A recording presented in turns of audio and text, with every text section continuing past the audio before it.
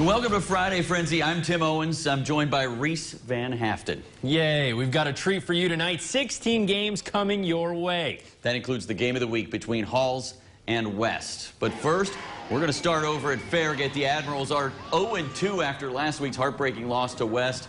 Taking on unbeaten Maryville. Rebels strike first. DJ Burks takes it in untouched. That made it 7-0. Rebels with the lead. Second quarter now.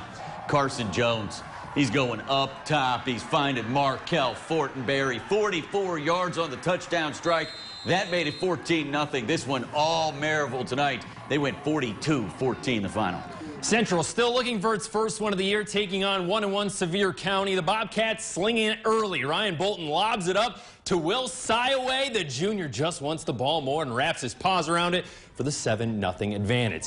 Central relies on the run later. Frank Johnson the third, he takes it in from three yards out. A lot of threes there. Fire up the fight song. Bobcats doubled their lead. Central starting to pull away. Ryan Bolton slings it to Colby Long, and he scampers into dirt eventually. All Central 35 to 13. Coach Heupel taking in the game over at Karns. Beavers hosting Powell tonight, picking up second quarter. Karns deep in their own territory. Deshaun Bishop can't handle the snap. Recovers his own fumble, but it's a safety. That made it 19-7. Panthers ensuing possession. Brian Belcher taking the handoff, and he finds the end zone. That made it 26-7 Powell. But Bishop trying to answer, and Reese check this out. Just before the half, breaking this one off. Down the sideline. Wait for it here. Wait for it, Reese. Wait for it. Wait for it. Yep, that was me getting run over. I got trucked right there. Bishop down at the three-yard line, but Powell with the goal line stand. Panthers win easily, 47-20 the final. Hope you're okay, Tim. Gatlinburg, Pittman, and Austin East both looking for their first win of the season. East down by 17.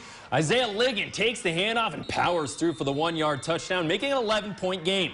The Highlanders start to march down the field on the ensuing drive. Houston Bird beats the Roadrunners to the edge and carries it into the red zone. That would eventually set up this. Levi Hill using his eyes to find space. And he gets just enough to cross the goal line eventually for the touchdown. GP pulls away 44-27. Big rivalry game here. Tuno Clinton showing off that new turf tonight. Taking on Oak Ridge. Pick it up third quarter.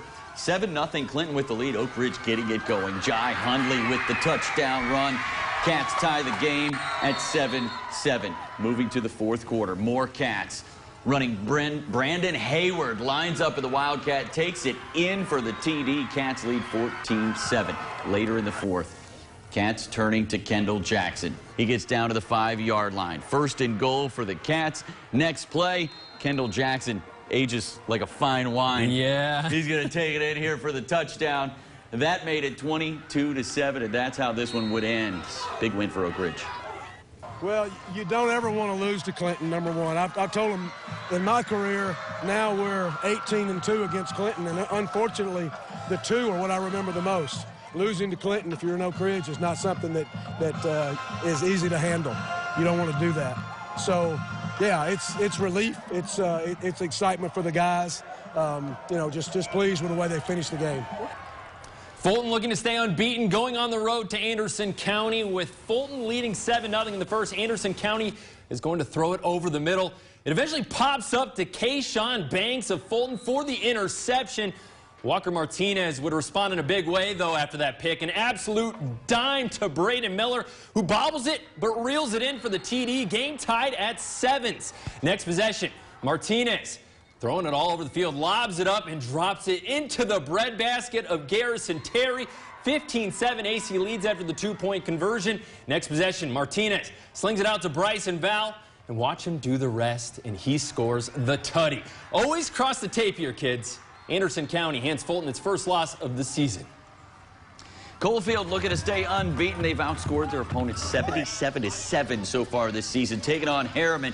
Coalfield starting off hot. Less than a minute into the game. Cole Hines connects with Landon Gallion for the Yellow Jackets. Score 7-0 later the first. Hines to Eli Roberts with the short pass, and he'll keep going, going, breaking tackles, weaving in and out, taking it all the way for the 76-yard touchdown. Coalfield up 21-0.